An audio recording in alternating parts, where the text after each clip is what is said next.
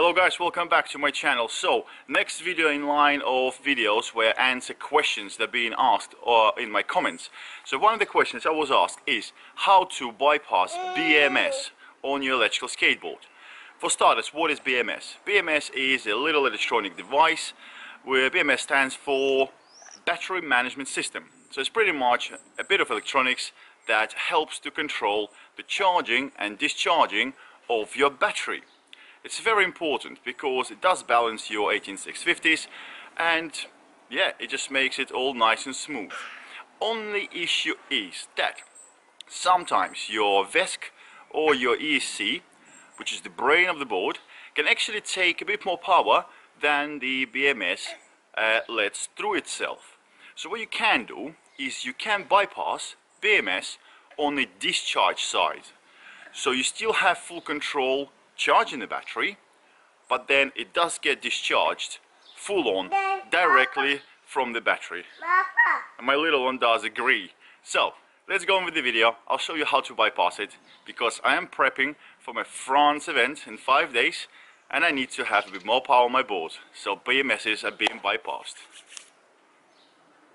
So there you go guys, this little piece here is the BMS on this particular battery pack which is now graded uh, to uh, Samsung 30Q uh, cells, very nice. If you want to see how I've done it, take a look at my channel, I got a video about it. This is the BMS that unfortunately already is burnt out, but I'll use it just for the show. So this is most likely how they will look like. You got uh, three cables uh, to it and also a uh, massive plug. This plug here uh, it's quite simple, it's just plug in. Don't have to touch this part, mate, uh, guys, to bypass the uh, discharge. So if you look carefully at the wiring, what you will see is that uh, from the battery, one of the cables will come out and will directly go into the uh, power plug that will be plugged into your uh, ESC or the VESC. the other cable, however, is coming out of the battery pack, but goes through the BMS and then to the plug. So what we need to do is, number one, or step number one, is to connect those two together. So pretty much bypassing the BMS. So BMS will not be restricting the power uh, flow from the battery to the ESC or the VESC. Guys, please be very careful. Think of what you're doing.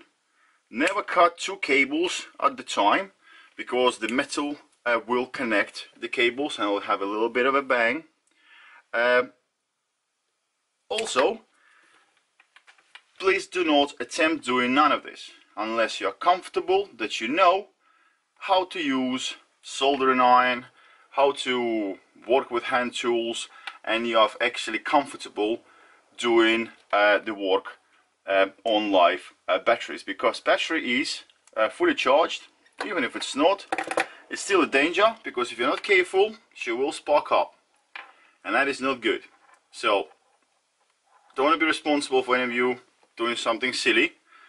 I've done this quite a few times before so I'm confident.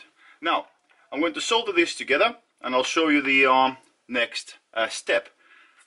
If you want to see how to solder especially thick cables I also got a video on my channel which is called how to solder XT90s the correct way but the same method can be applied to any soldering so guys, now you can see that both of the cables coming out of the battery are going directly into the plug. What we need to do is, the cable you cut off from the BMS needs to be insulated so it doesn't do any damage. I normally like using the uh, shrink tubes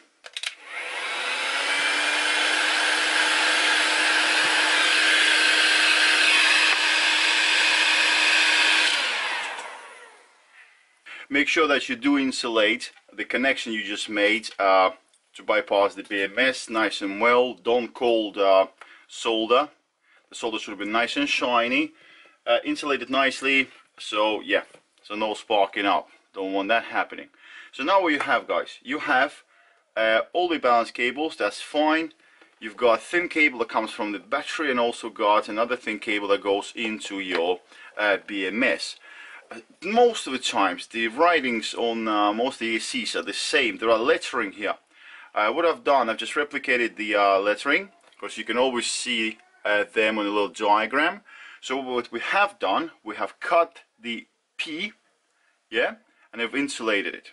Now next step is, and the next step guys will be uh, to show BMS what is actually going on with the batteries. Because BMS is still responsible, even though she's bypassed now on the discharge, uh, she's still responsible for charging. So BMS needs to know what's going on with the batteries when they are charging. So remember that cable that we did cut off uh, in order to uh, bypass. That's the connection B, this one here.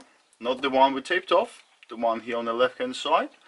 Uh, we need to connect that to a black cable which is located on the other side of the BMS where the massive plug is. Yeah? So we're connecting this here to that there, just splicing that in. This way BMS will know when the batteries are coming up to a full charge and stops charging or letting the power through. And that's what we're going to do right now. And there we go guys, we are now spliced in, which is quite good. I'm going to run uh, through all this process one more time very quickly guys. I know how those videos are sometimes. I do use uh, how-to videos myself once in a while and it takes me rewinding back and forth. So, in short, what we have done is we have cut off the connection P and we have connected that directly into the battery which was the cable B coming out of the battery. Then what we've done, we have taped off the connection P, the power out of the BMS and made it safe. Then what we've done is we have extended the cable,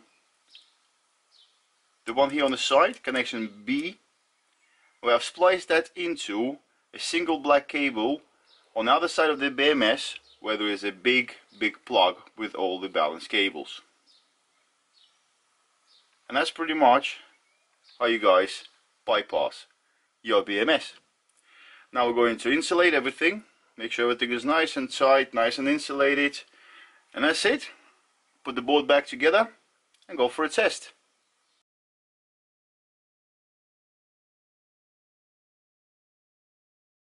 So I hope you liked the video. I hope you will follow the rules and get your BMS uh, bypass safely. So as my little one. Always says safety first. Be careful